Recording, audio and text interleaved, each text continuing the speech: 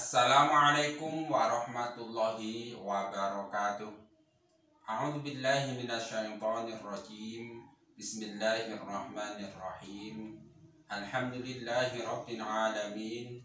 Allahumma salli wa sallim ala sayyidina Muhammad wa ala ali sayyidina Muhammad amma ba'du.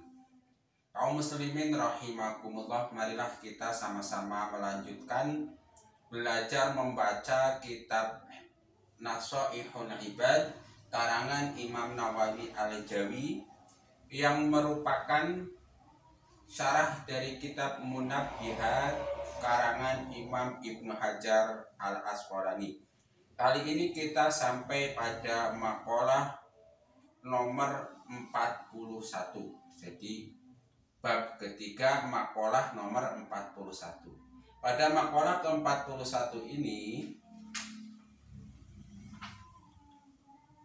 Imam Suyuti menuliskan wakila idza aradallahu bi'abdin khairan faqahahu fid dini wa zahadahu fid dunya wa bassarahu bi'uyubi nafsihi.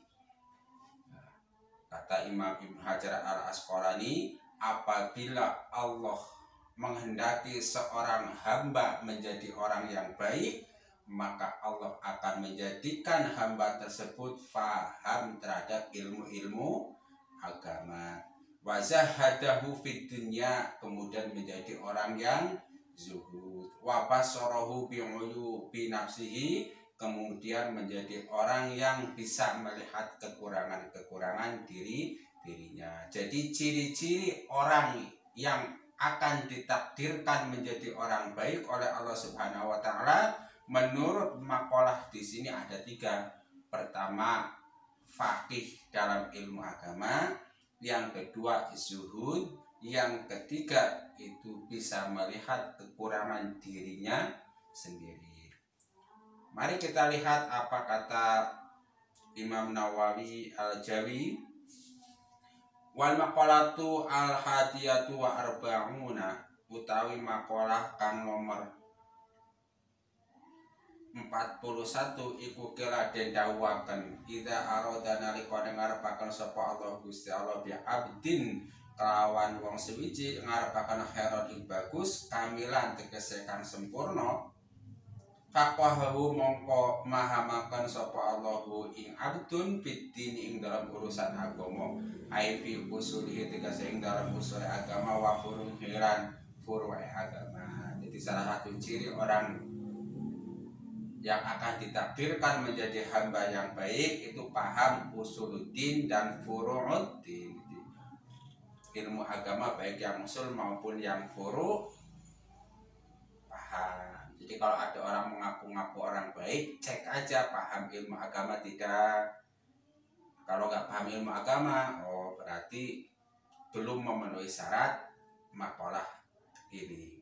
Wazahadahu lanjuh ucapan sapa Allahu ing abdun fitunya ing dalam dunya. Ai jangan ada kesendadakan kalbahu ing hatina abdun dan dadakan kholian kang sepi mimma saking barang kholat kang sepi minhu saking abdun apa ya tangane jadi dia itu tidak memikirkan urusan dunia yang tidak seharusnya dipikirkan hatinya pun tidak bergantung terhadap dunia yang seharusnya dia tidak bergantung. Wa basarahulan ningalaken sapa Allah ing abdun bi uyubi nafsihi kelawan aibe awak dewe ke ngadu mudah-mudahan bermanfaat.